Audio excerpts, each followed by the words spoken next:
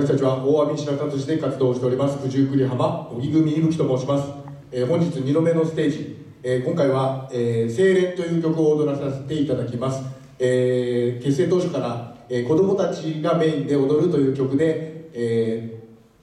ー語り継がれてきた曲になります、えーどうぞ温かい目でご声援いただければと思います。よろしくお願いいたしますいぶ